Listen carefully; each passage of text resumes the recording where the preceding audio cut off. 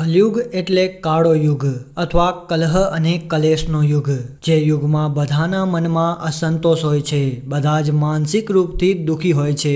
ઘણા હજારો વર્ષો પૂર્વે ભાગવતમાં સુખદેવજીએ જેને બારીકીથી અને વિસ્તારથી વર્ણન કર્યું છે, જે આપણી આંખો ખોલવા માટે કાફી છે. આજે આપણે તે વર્ણન અનુસાર આ ઘટનાઓ ઘટી રહી છે અને માનવામાં આવે છે કે આગળ પણ જે લખેલું છે તે જ ઘટશે.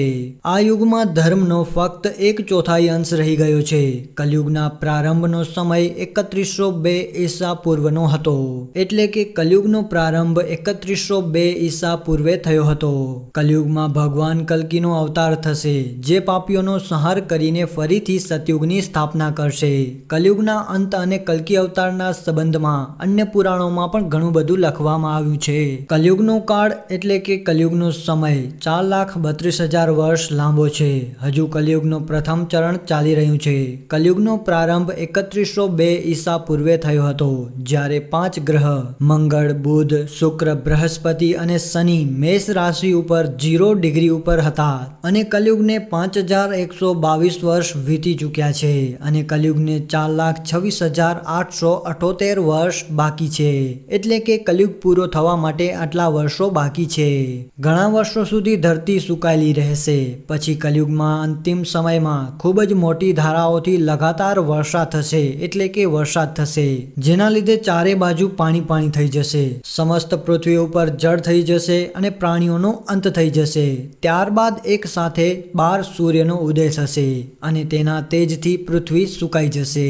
કલયુગના અંતમાં ભયંકર તોફાનો અને ભૂકંપો ચાલ્યા કરશે. લોકો મકાનમાં નહીં રહે, લોકો ખાડા ખોડીને રહેશે. ધરતીના ત્રણ હાથ અંશ એટલે કે લગભગ સાડા ચાર ફૂટ નીચે લોકો રહેશે. મહાભારતમાં કલયુગના અંત સમયમાં મહાપ્રલય થવાનું વર્ણવામાં આવેલું છે. પરંતુ તે કોઈ પણ જળ પ્રલયથી નહીં, પરંતુ ધરતી ઉપર લગાતાર વધી રહેલ ગરમીથી થશે. મહાભારતના વન પર્વમાં ઉલ્લેખ મળે છે કે કલયુગના અંતમાં સૂર્યનો તેજ એટલો વધી જશે કે સાત સમુદ્ર અને બધી નદીઓ સુકાઈ જશે. સવતર્ક નામની અગ્નિ ધરતીને પાતાળ સુધી બંધ કરી દેશે. વરસાદ સંપૂર્ણ રીતે બંધ થઈ જશે, બધું જ સળગી જશે. ત્યારબાદ બાર વર્ષો સુધી લગાતાર વરસાદ થશે. જેનાથી બધી જ ધરતી જળમગ્ન થઈ જશે. જળમાં ફરીથી જીવનની ઉત્પત્તિ શરૂ થશે અને ત્યારબાદ ફરીથી સતયુગની સ્થાપના થશે.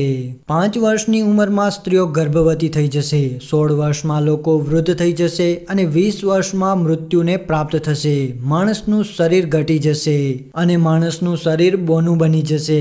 એટલે કે માણસ નાનકડા કદવાળો બની જશે. તો કલયુગમાં આવનારા સમયમાં આ બધી ઘટનાઓ બનશે. હવે જાણીએ બ્રહ્મવૈવર્ત પુરાણમાં કલયુગ વિશે શું કહેવામાં આવ્યું છે. બ્રહ્મવૈવર્ત પુરાણમાં એવું કહેવામાં આવ્યું છે કે કલયુગમાં એવો સમય પણ આવશે જ્યારે મનુષ્યનું આયુષ્ય ખૂબ જ ઓછું રહી જશે. યુવા અવસ્થા સમાપ્ત થઈ જશે. કલીના પ્રભાવથી પ્રાણીઓનું શરીર નાનું થતું જશે અને નાનું નાનું થઈને ક્ષીણ અને રોગગ્રસ્ત પણ બની જશે. શ્રીમદ ભાગવતમાં એવું કહેવામાં આવ્યું છે કે લોકોનું આયુષ્ય ઓછું થતું જશે જ્યારે કલયુગ આગળ વધતો જશે. કલયુગના અંત સમયમાં જે સમયે કલ્કી અવતાર અવતરિત થશે, તે સમયે મનુષ્યની પરમ આયુષ્ય ફક્ત વીસથી ત્રીસ વર્ષની હશે. જે સમયે કલ્કી અવતાર થશે, ત્યારે ચારે વર્ણના લોકો શુદ્રોની સમાન થઈ જશે. ગાય પણ બકરીઓની જેમ નાની નાની અને ઓછી દૂધ દેનારી બની જશે. હવે જાણીએ, કલયુગના અંતમાં સંસારની કેવી દશા થશે? પહેલું તો અન્ન ઉત્પન્ન નહીં થાય. લોકો માછલી, માંસ જ ખાશે અને ઘેટા બકરાઓનું દૂધ પીશે. એક સમય એવો આવશે જ્યારે જમીનમાંથી અન્ન ઉગતું બંધ થઈ જશે. વૃક્ષો ઉપર ફળ નહીં લાગે. ધીમે ધીમે આ બધી વસ્તુઓ વિલુપ્ત થઈ જશે. કલયુગમાં સ્ત્રીઓ વિશે કહેવામાં આવ્યું છે કે સ્ત્રીઓ કઠોળ સ્વભાવવાળી અને કડક બોલવાવાળી થશે.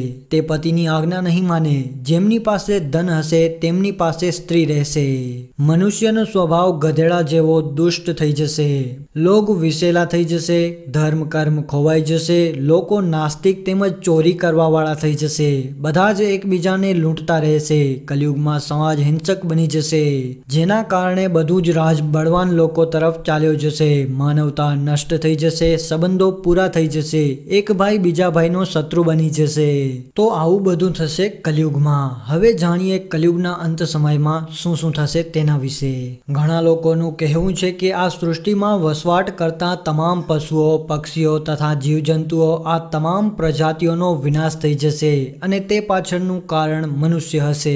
આ પ્રજાતિઓની આયુષ્યમાં ઘટાડો જોવા નહીં મળે, પરંતુ મનુષ્યની આયુષ્યમાં તમે નોંધપાત્ર ઘટાડો નોંધી શકો છો. કલયુગના અંતિમ સમયગાળામાં મનુષ્ય સમાન વર્તન કરવા માંડશે, માનવી અને પશુમાં કોઈ પણ પ્રકારનો અંતર નહીં રહે. આ ઉપરાંત ધરતી ઉપર વરસતા વરસાદના પ્રમાણમાં પણ ઘટાડો જોવા મળશે, જેના કારણે ધરાનું તાપમાન એ હદ સુધી વધી જશે કે લોકો પોતાના ઘરમાં વસવાટ નહીં કરી શકે અને જમીનની નીચેના ભાગમાં ઘર બનાવશે.